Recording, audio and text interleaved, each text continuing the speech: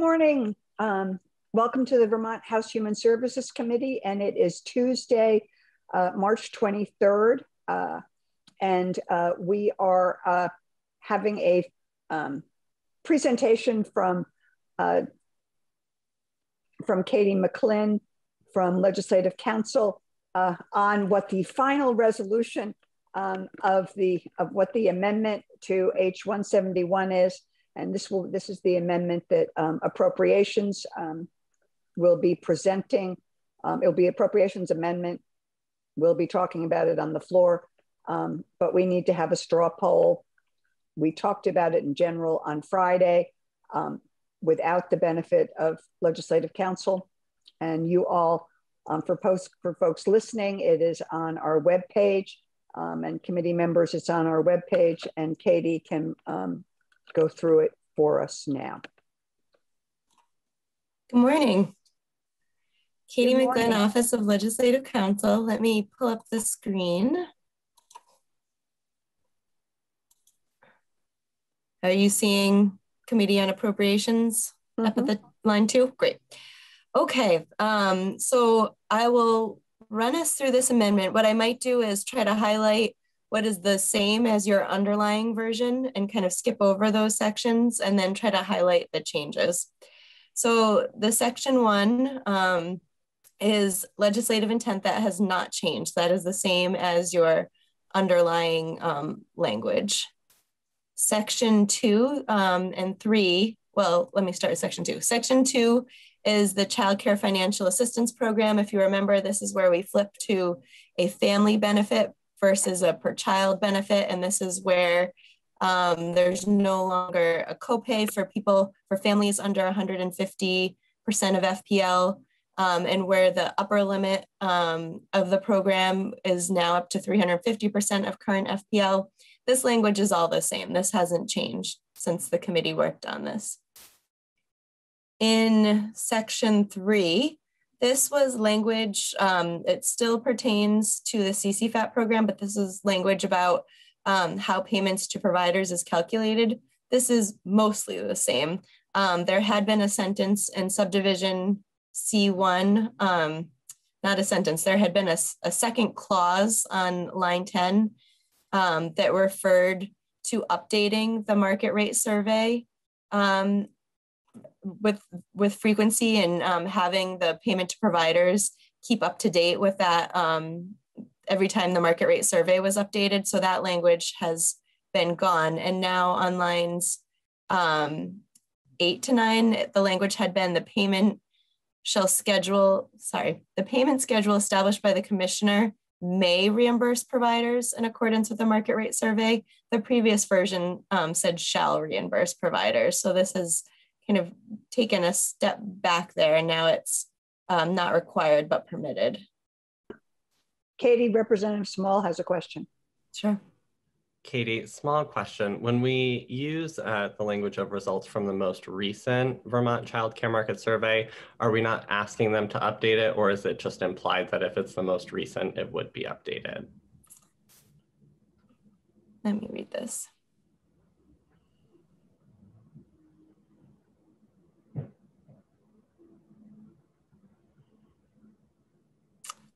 Hmm, I see your point. Let me look at the exact language that was cut to be able to answer that. Here's the as proved human services version.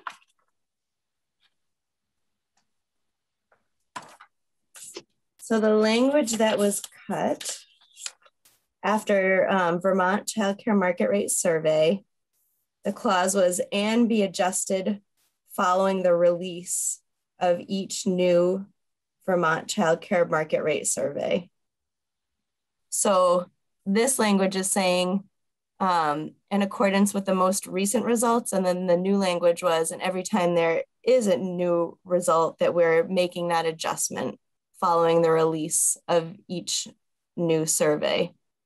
Um, I do I do take your point though that it almost seems that that second clause wasn't necessary because we're still saying the most recent survey in lines 10, 9 to 10. Am I understanding your point there? Yes, just clarifying that our language previously wasn't instructing to update and that this is still in line with the original intent. Mm -hmm. So it sounds like that uh, based on what you were sharing, Katie. So thank you. You're welcome. Um, in subdivision C2, there was also another reference to the market rate survey. And I think as we discussed earlier, that it was a second clause of the first sentence um, that that language was duplicative to what we had in C1. So that language was struck. So that is another change. Um, section four is the appropriation for sections two and three for the CCFAP program. And that language has not changed since the human services version. Is that, uh, nope, there has been a change, I'm sorry. So um, in subdivision excuse me, subsection B, the intent of the General Assembly, subdivision two, previously we had language um, that this um, subdivision two would take effect on fiscal year, by fiscal year 2023. And that date has been updated to October 1st, 2021 as the money, the funds would be available um, sooner than the fiscal year 2023 date. And there had been a third item in this legislative intent list, and that was um, that by fiscal year 2026, a family shall spend not more than 10% of the family's gross annual income on childcare, and that language has been removed. Section five, um, there's also a change. I can't remember if I walked through um, with this committee. So first, the, the version that came out of Human Services in subsection A had an appropriation for the Bright Futures Information System. and then another version that I think you looked at on Friday, I can't remember, had um, like an approval. Uh, was that subsection seven? Hold that thought.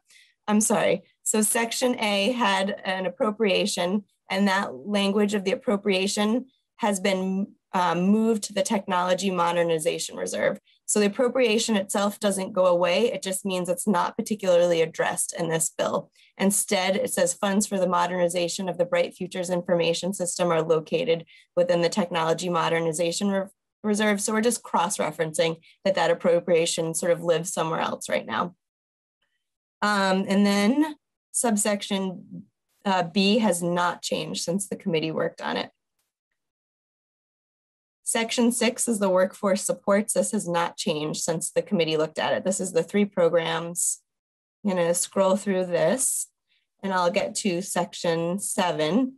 This is where I was going before. I was getting my section five and my section seven confused. So um, a previous version that I think you looked at on Friday morning had language about um, a process set up with joint fiscal, um, determining the right source of funding to use um, for the appropriations related to the workforce development programs, that process, the language around that process has been removed from this version of the bill. So instead, what you see here is just the appropriation for the bill.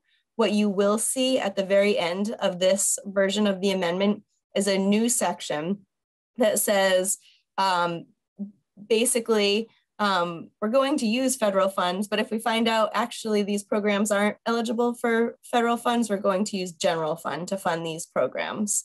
So um, that's a piece we'll, we'll look at. I think it's section 15 um, off the top of my head. But otherwise, the appropriations have remained the same.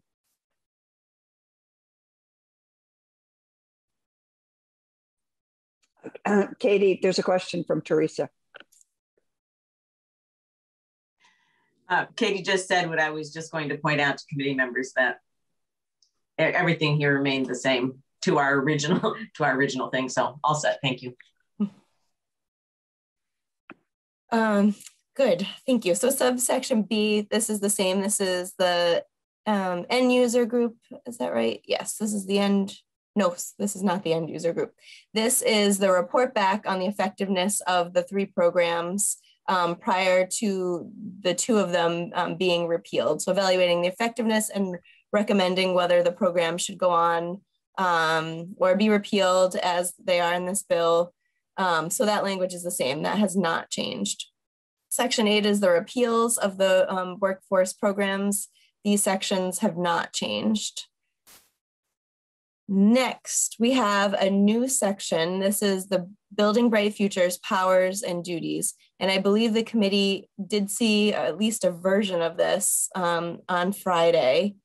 Um, so basically, what happened is um, in the version that the committee passed out, there was a temporary um, advisory group that was going to be hosted by a subset of Building Bright Futures. And um, as part of setting up those responsibilities, there was a lot of focus on um, bright, Building Bright Futures, looking at the administration and operation of the childcare system. Since that advisory group is no longer part of this amendment, this there's language being added in statute to the ongoing responsibilities of the Building Bright Futures Council um, with regard to try to pick up that responsibility. So it's part of their ongoing responsibility. So um, this is a list of powers and responsibilities of the group. And current under current law, this group is to advise the administration and the General Assembly on, and we have subdivision A is existing law, what they're um, advising the administration and General Assembly on. And I've added a new subdivision B that they're also providing advice on planning related to the administration and operation of Vermont's child care system. In addition, um, and under existing law, this group is responsible to develop an early care health and education system plan. And now we've added new language, which shall reflect the growing diversity of Vermont's children and families. And also in the work you did in the testimony that you took, um, you heard from the business community of wanting to be include in, included in these conversations. So now in um, codified law, we have a reference to the business committee community. So um, Building Bright Futures is responsible to convene members of the childcare community, medical community, education community, and now business community and other organizations um, to ensure that families receive high quality excuse me, quality services in the most efficient and cost effective manner. So that's the new language in the um, Bright Futures responsibilities and duties. And then we have a new section 10. Um, and this is maybe different from what we looked at on Friday. So this, um, the, there are federal funds coming in through the American Rescue Plan Act um, that can be used for childcare. I believe the version that this committee saw on Friday was only um, one section and one group that was being created to look at how the funding could be used the, under the federal law and to determine um, what purposes the state could use these funds for. So that one group has kind of been split apart into two groups. Um, and they sort of have the same focus. The Section 10 group is looking at the Child Care Development Block Grant funds that are coming in through the American Rescue Plan Act. And then in Section 11, the group is looking at um, the Child Care uh, Stabilization Grant funds. Let me make sure I have that correct. Um, yeah, Child Care Stabilization Grants that are also coming in through the American Rescue Plan Act. So we've just divided that group up and they have sort of a different focus. They're looking at different funds, but also they have sort of different charges. They're both providing recommendations, but the way they go about doing that and when the money can be spent is different. So um, this first group, we have that DCF in coordination with Building Bright Futures is to convene a childcare working group composed of mutually agreed to stakeholders that reflect the growing diversity of Vermont's children and families, including individuals who are Black, Indigenous, and persons of color. And that members of this group shall include rep a representative from both this committee and Senate Health and Welfare, as well, as well as individuals representing families, childcare and after school providers, the business community, child welfare advocates, and consultation with any other individuals necessary to make recommendations for most effectively utilizing the Child Care Development Block Grant Fund received by the state under the federal law to meet the immediate and future childcare needs of Vermonters. In subsection B, this is the powers and duties of the group. So the group is to make recommendations to the General Assembly to ensure that the pot of money that it's looking at that's coming in through the federal laws fully utilized. And the group is to consider the following priorities, but it doesn't have to be limited to only looking at these priorities. Um, so this is a list I believe the committee looked at um, on Friday, and this list hasn't changed, but I'll go through it again.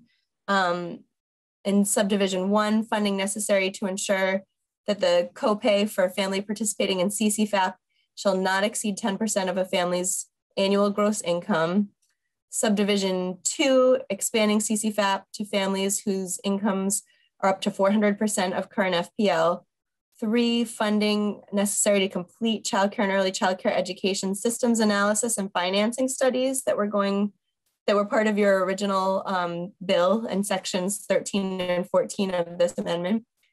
Uh, funding necessary to implement the workforce supports that are in this bill, increased access to high quality infant care, access to high quality affordable childcare for culturally and racially diverse families, support and assistance to stabilize regulated privately operated um, center-based programs and family childcare homes, and identification of any statutory or regulatory barriers in using the federal funds to address the immediate and future childcare needs of Vermonters. So an earlier version you looked at had a report coming back April 30th and then another report coming back November 30th. The April 30th report back is gone. And the language here is that by November 30th, DCF is to submit a written report um, to the appropriations committees and policies committees containing the work group's recommendations. And then in terms of meetings, we have um, the commissioner and executive director of Building Bright Futures are calling the first meeting and serving as co-chairs. Um, the membership, majority of the membership constitutes a quorum and the working, working group ceases to exist on December 1st of this year. So that's the first of these two groups looking at federal funding. The second of the two groups is looking at the child care stabilization grants, as I said earlier, and this intro language is a little bit different. We still have DCF working in coordination with Building Bright Futures to convene the group of mutually agreed to stakeholders. Um, and the stakeholders are to reflect the growing diversity of Vermont's children and families. The members of the working group, um, like the group before it, are to include a representative of this committee and Senate Health and Welfare. Um, but the other stakeholders, it's a little bit more, more narrow. So we have childcare and after school providers and consultation with other individuals, but we don't have a representative of families or the business community or child uh, health and, uh, excuse me, child welfare here.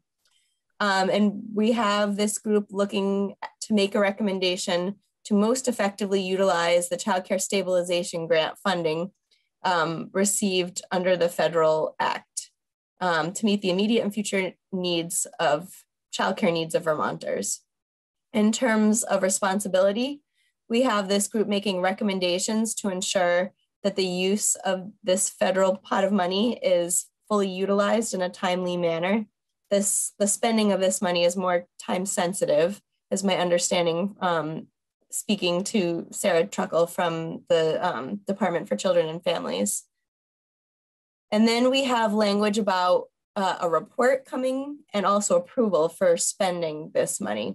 So by September 1st, the department is to submit a written report to the Joint Fiscal Committee and to the chairs of this committee and Health and Welfare containing the working group's recommendations. Upon receipt of this report, Joint Fiscal is, um, has five days to approve or reject the work group's recommendations. If the committee, the Joint Fiscal Committee does not act within the five days, the recommendation is deemed approved and the department shall distribute the funds according to the recommendations.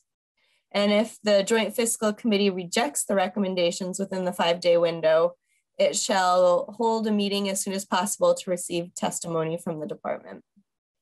Um, and then similar to the other working group, we have the Commissioner of DCF, Executive Director of Building Bright Future serving as co-chairs, um, and then this working group shall cease to exist on January 1, 2022. In terms of studies and reports, section 12 is what we were calling um, the, I, guess the mini study when it was moving through human services. It had two parts when it was moving through human services. It had um, uh, also a, a look at copays And so this version is only looking at the enrollment based model versus the attendant based model. Section 13 um, is the systems analysis. Section 14 is the financing study. Um, these sections have been um, kind of truncated. They're a little bit um, shorter than the versions that were in your underlying amendment that came out of the committee, um, but in substance, they should remain the same. I believe I walked through these on Friday, um, and if that memory is correct, then these are both the same um, as you saw on Friday. So I might just scroll past them for now, if that's okay. Um, and then the section 15 language that I referenced before um, with regard to um, how we're funding the workforce programs. This is kind of what I was referencing before. So in section 15, we have language that to the extent the appropriation in the act is made from federal funds provided under the American Rescue Plan, um, including state holding funds that are established as a result of the federal act. The Commissioner of Finance and Management is authorized to make expenditures in anticipation of receipts as necessary. And in the event the monies received by the state under the federal act cannot be used for their designated purpose, appropriations shall instead be made from the general fund. So this is saying that those programs will be funded either way, either through the using the federal um, American Rescue Plan Act money or by the general fund. And the, the preference is given to using the federal funds if possible. And if not, the fallback is general funds. Um, and then this allows carry forward from fiscal year 2021. The effective dates um, should look familiar. Um, we had a technical fix on line 17, changing October 1, 2022 to October 1, 2021, um, which was an error in the underlying um, committee report. And then the other change is just to reflect the fact that sections 10 and 11, which are the two working groups that are looking at the um, funding coming through the American Rescue Plan Act, um, need to take effect right away. So we're having those take effect on passage. And that's it. Thank, thank you, Katie. Uh, Representative Brumsted. Thank you. Um, Katie, just a quick question about section 10 and 11. Um, so the, the Ameri we're, we're looking on those two studies. The first study, the one that has to do with the Child Care Development Block Grant, has all the specific things we want the committee to look at. But the second one, the child care stabilization grants, did, doesn't have all those specific. Is that because they don't have to look at those issues? Maybe that's a Theresa question. um, uh, thank you, Representative Brumsted. Um, when we put the amendment together, um, they were all part of one group. Yeah. Um, DCF wanted to separate them out because they have different timelines associated with them, and the um, and uh, frankly, uh, we weren't part of developing the second piece. okay, so they really. I just want to be sure if I today even get that question. I noticed that last night. I was like, oh, it's only in one section, not the other. Yes, no, it, it and there are different rule. There are different guidelines um, for how each each um, set of grants can be used. Um, and that's the purpose of the work group. So um, we'll be able to have influence in those work groups since we will have a rep there. Okay, and then lastly, on that same two points, do we think that the same people will be in those same two groups or they'll be different? No, they'll be different. Okay, thank you.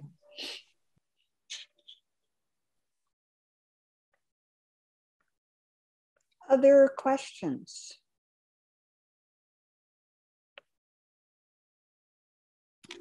I just wanted to clarify, Madam Chair. I said they'll be different, but there will be crossover between the two. For instance, you know, the people from DCF will be the same and likely the reps from the House and the Senate will be the same. I just wanted. The, um, the, the purpose of the two groups is a little different and the expertise that is needed will undoubtedly be different. And um, we're, we're, we're trying to go on a new path, which is not being totally prescriptive, which is hard for me, but we are trying to um, uh, do that. Um, if there are no further questions, um, I would entertain a um, a straw. Well, I, um, why don't we uh, have a straw poll? And um, I no longer see Dan here. so um, uh, why don't we? I'm, I'm. I can't hear you, Theresa. I was just thinking we could just raise our hands. I was going to say, um, I'm, i learned from other committees, we can just raise our hands. Um, um, uh, Representative Gregoire, are you raising your hand or do you have a question? You're raising your hand. Okay, so all those who on a straw poll um, uh, support um, the Appropriations Committee um, amendment to H171, please let me know. Me, I'm up there too. Um, all those, um, uh, please, please uh, put your hands down.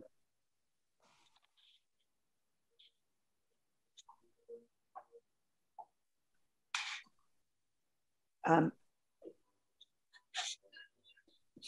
my hand function isn't working this morning. So I was raising my hand for the first option, but it okay. didn't work.